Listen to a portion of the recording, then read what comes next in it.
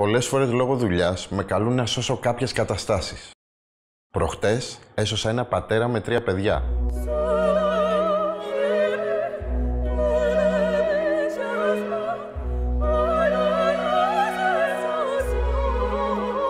Γλίτωσα ένα ρομαντικό δείπνο από βέβαιη αποτυχία.